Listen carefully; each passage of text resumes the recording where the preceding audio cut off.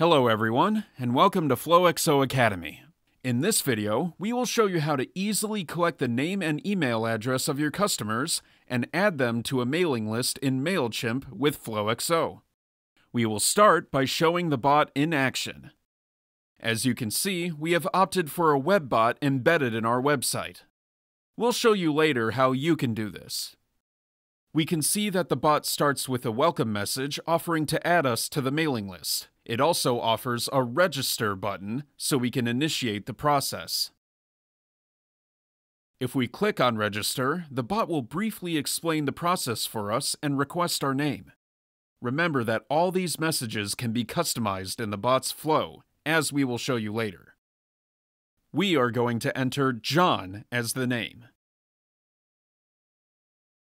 Now the bot asks for our email address. In FlowXO, bots can validate email addresses, so we are going to enter an email address with the wrong format to test this. As you can see, the bot tells us that the email address is not valid and asks again. This time we will enter an email address in the correct format. Next, we have introduced a step where we get the customer's permission to store the data. We also give them a choice to start again. We now click on Yes, and we receive a confirmation after the bot has stored the name and email address in the mailing list. As we mentioned, all these messages are customizable, and you can also add specific actions or messages that you may need.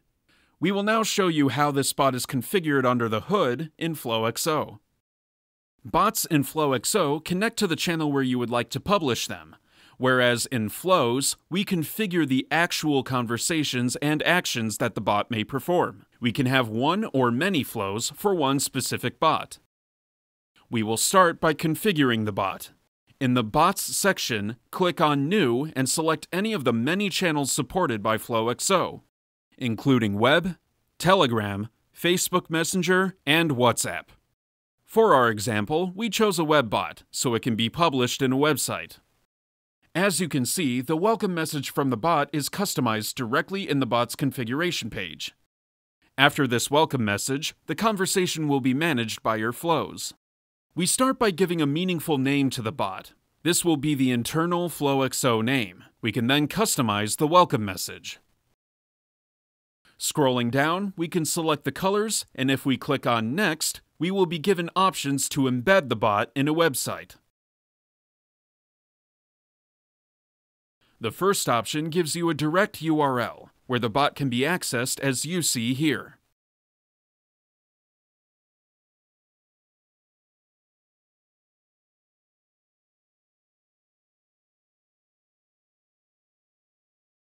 You can also embed the bot in a website using an iframe, which could look like this in a website. Alternatively, you can also use a script. It is important to remember the name of the bot, as we can configure our flows to connect to a bot in particular.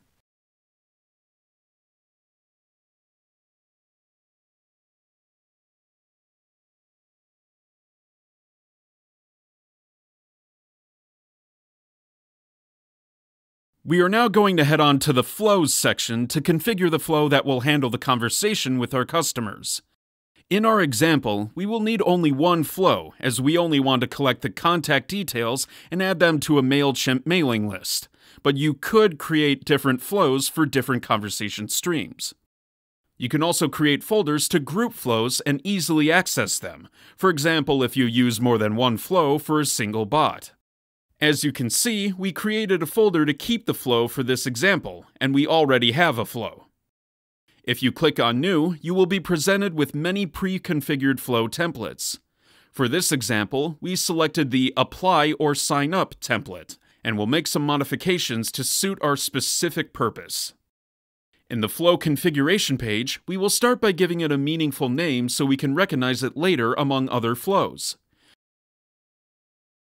As you can see, the Flows configuration page has two parts. On the left side, we can add and customize messages and actions, whereas on the right side, we have a visual representation of the bot's messages. This will help us quickly navigate through the flow in case we'd like to change something.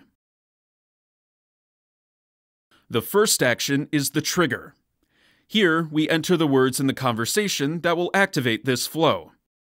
For our example, we are going to replace all the words with just register and start again. We will configure the flow so it is activated only when the trigger word is sent directly to this flow. It could also be configured to trigger when it overhears the word in a conversation, although in this case, a direct trigger is enough. We will also add shortcut buttons, so these options will be shown as buttons which the customers can click to interact with the bot instead of having to type them. Click on Next, and for this action we will not add any filters, as we would like it to always trigger. Now click on Save. Now click on the pencil icon next to the task's name to give it a meaningful name, and then click on Save. In the next task, we will tell the user that we are starting the process. Click on Edit to customize the message. Note that we can separate sentences in different lines. We will not need any shortcuts in this task as we are not giving any choices to our customer. So, we will click on Next. In this case, we will use a filter so this task only runs in a specific situation. We only want this message to be shown when the user clicks on Register. The value field retrieves the customer's response to the bot's earlier message, and the condition requires that it doesn't contain Start Again. We now have the filter configured and can click on Save to move to the next task. The next task is a step in between to check if we already have the user's name. As you can see, the question is already configured to retrieve the name as a parameter. You can select parameters by clicking on the XO button and scrolling to the parameter you require from a previous task.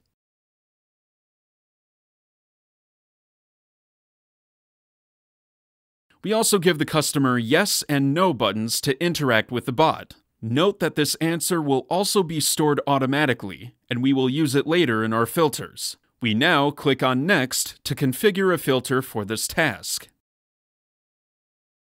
We will use the customer's name parameter from a previous task and keep the condition that it must not be empty.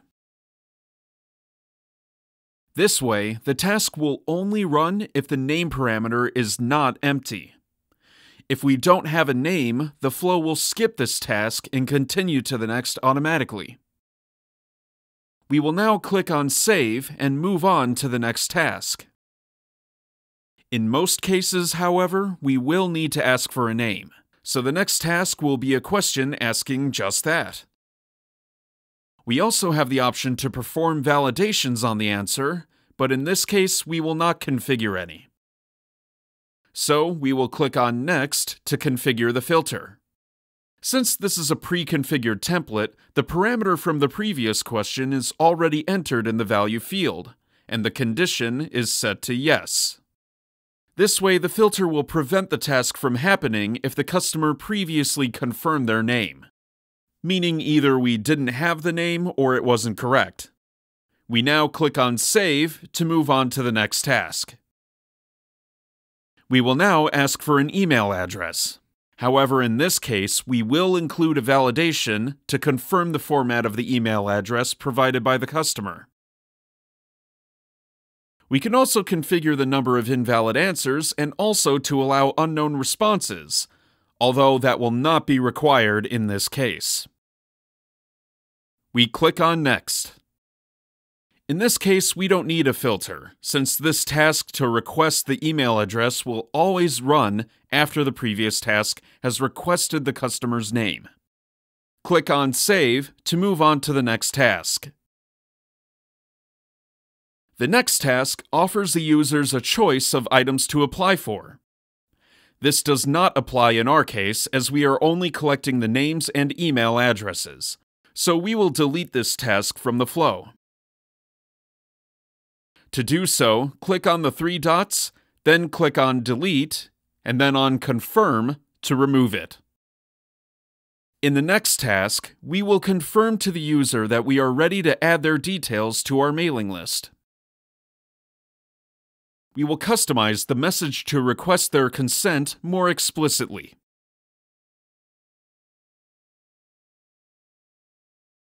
We will now offer two choices yes and start again. Start again would trigger the flow from the beginning, as you may remember. Click on Next and then Save, since we don't need to add any filters for this task.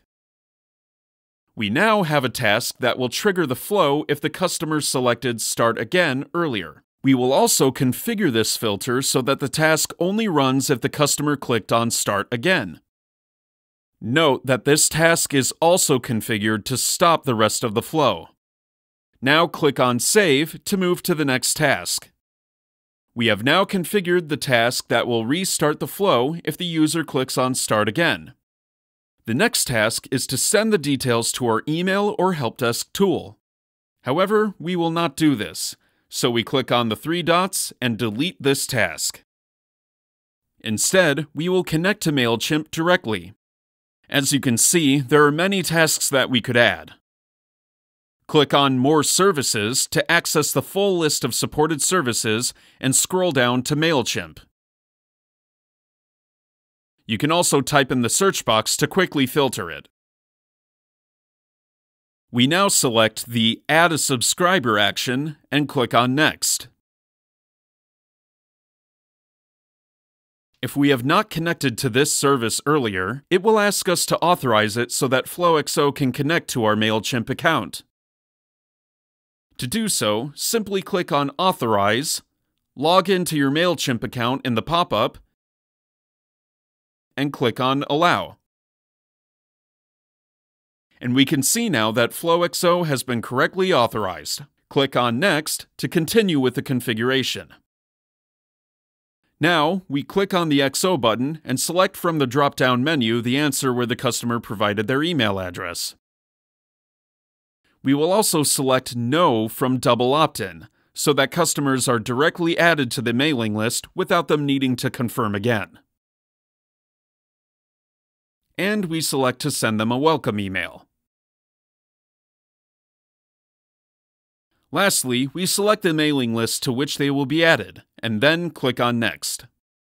We don't need any filters for this task, so we click on Save. Finally, the last task will be to confirm that their registration has been completed, and we update the name accordingly. We then click on Edit to open the task's configuration, and we will customize the confirmation message. We will take the opportunity to remind them to check in their spam folder if they haven't received a welcome email in their inbox. We will also provide a shortcut so they can start the process again. This will work in combination with the task we configured earlier to restart the flow if Start Again is selected.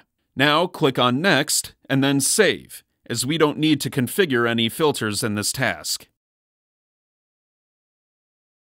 We now have the full flow configured, and we are going to make sure that it is connected to our webbot and to the test console as you see on the screen. Then click on Next and then on Save, since we have already configured these earlier. We also must remember to turn the flow on, as otherwise it will remain inactive and not work. We are now ready to test the flow in the test console. To do so, click on the speech bubble, and if there is any previous chat, simply click on the reset button. The test console has a different welcome message from our FlowXO bot, but you can see it already offers the Register shortcut button from the flow we configured. We will click on Register to start. The bot is already explaining the process and asking for our name as we had configured it in the flow since it didn't find our name in the responses. We will enter John as the name, and now we are going to test the email validation. To do so, we are providing an email address in the wrong format. As you can see, the flow's validation is prompting us to enter a valid email address. This time, we will enter the address in the correct format. Now the bot is confirming with us that we will be subscribed to the mailing list. So we click on Yes. As a result, the bot confirms that we have been subscribed to the mailing list. If we click on Start Again, the flow will be restarted, as we see here.